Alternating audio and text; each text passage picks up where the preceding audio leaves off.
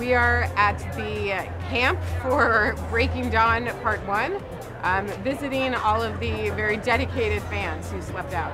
We uh, had little magic gold stickers, and uh, the girls or boys who got those get to come to the premiere and to the uh, after party, so it should be a lot of fun. It's always nice. They're always so sweet. Like everybody was really cool uh, about letting other people kind of get a picture or whatnot. They're really kind to each other, which I love, and uh, all very excited and looking pretty good for having slept on the street.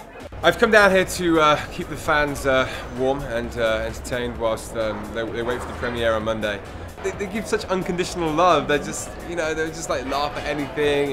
You feel like a stand-up comedian there half the time, and uh, like I said, you know, it's, it's, a wonderful feeling to be able to stand up in front of people and just, just to talk and just to interact with them and, and to feel their passion for the uh, for the Twilight series. Is, uh, I, will never I'll never take this for granted or ever get tired of it.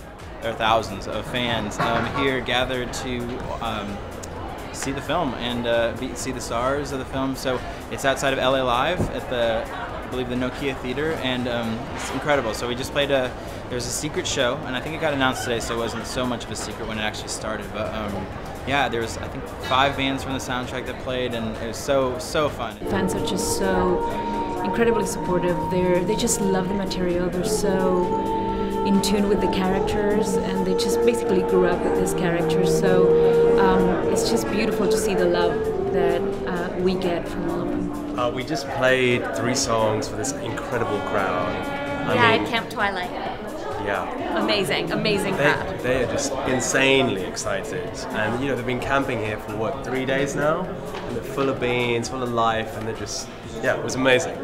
We felt like we were welcomed into a new family. Yeah. It just feels like a, an embrace.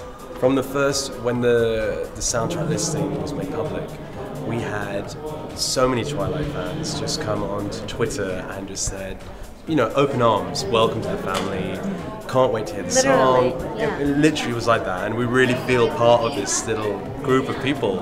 And this week, especially, has been so exciting. Yeah. So, and we're uh, really, really excited about the premiere on Monday night. I know. Yeah.